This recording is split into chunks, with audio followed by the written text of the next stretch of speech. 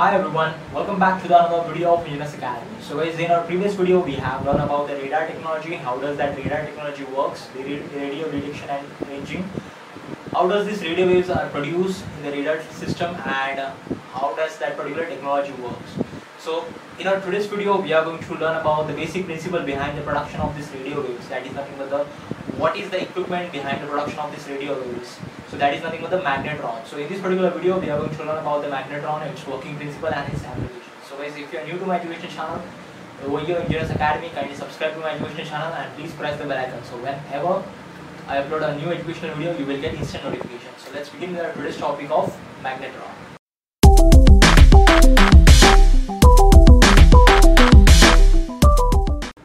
Magnetron is the only device which produces the electromagnetic waves, which produces the radio waves, which is used in the radar technology and which is also used in microwave ovens. So what is the basic important principle behind this production of this EM waves? So let's go to the basic of this uh, LC oscillations. So in case of LC oscillations, suppose you you having a copper wire which is having a you know n number of turns that particular copper wire we can call it as an inductor. And if you connect a particular battery to that particular copper wire so this particular when the current flows through that particular turns it will produce the magnetic flux. And if we uh, attach the another coil okay it, the magnetic flux okay gets induced in the second coil and it will produce the radiations so that is nothing but the basic principle behind the production of the flux or as the uh, magnetic waves. Uh, or as the radiation. So let's take an example of the flute. This particular flute produces the you know a melody, a, like a lovely sound get produced by this particular flute. The input will be the air. So the air goes inside that particular flute which is having n number of holes and having a predetermined length. When that particular air comes out one of the holes and it will produces a melody, it will produces a sound. So this is exactly the this particular magnetron works. Suppose I am having a cathode filament.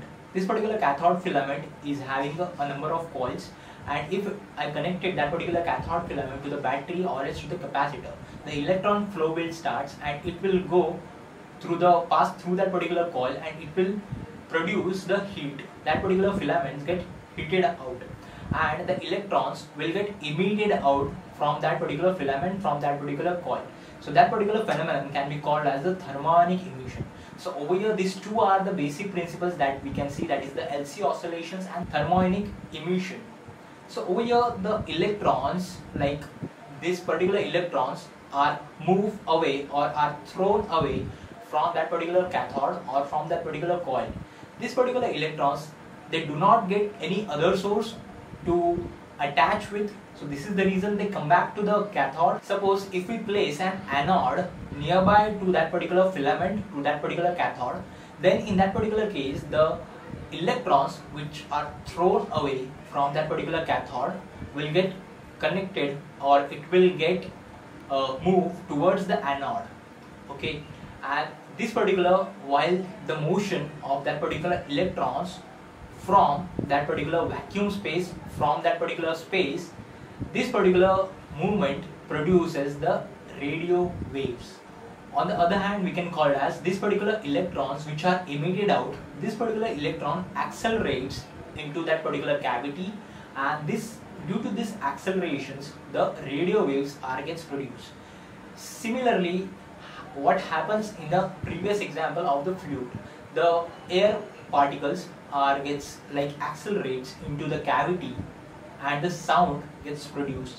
Similarly over here in this case the electrons gets accelerated into that particular cavity and the radio waves are gets produced.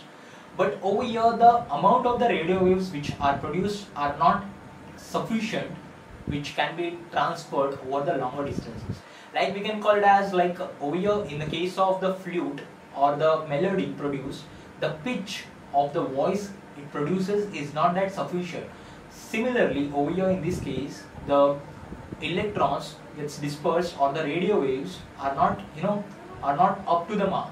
So in this, uh, so in this case, there are the two permanent magnets which are associated on the top side and the bottom side as we can as we can see over here and due to the presence of this magnetic field the electron will get accelerated more and it will spend more time in the cavity and due to spend more time in the cavity it will produce the more of the radio waves. Similarly in order to increase the efficiency of this particular process like a cavity magnetron is induced over here the cavity are you can see over here the anode is having the different cavities as you can see over here. This particular cavity can be in a circular form this can be in a slotted form this can be in a slotted a tapered one like uh, slots are there. So this particular types of the cavities are there in the anode which produces the different amount of the uh, radio waves.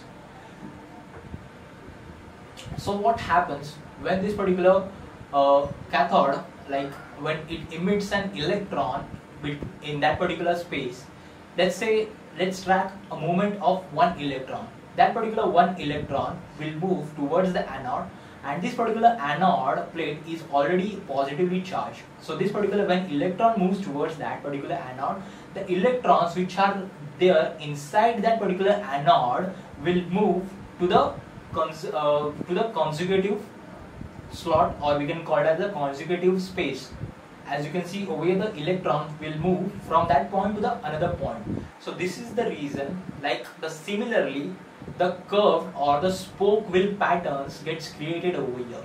And due to the presence of this uh, magnets and due to the presence of the magnetic field this particular spoke wheel pattern rotates and this particular spoke wheel pattern rotates and it will produce the radio waves so this is the basic principle behind the production of this radio waves. And this particular antenna is gets connected to one of the anode strip and this particular antenna emits out the radio waves. So as you can see over here, this is the model of this uh, magnetron that we can call it as a hull magnetron or else cavity magnetron. This particular magnetron is used in the radar technology and it is used in the microwave ovens.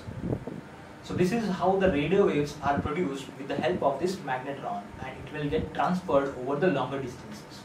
So guys, in this particular video we have learned how these radio waves are produced with the help of the magnetron and its application.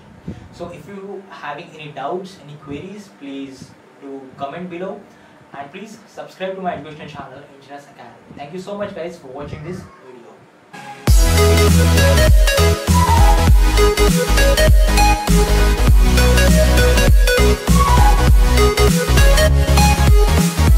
Música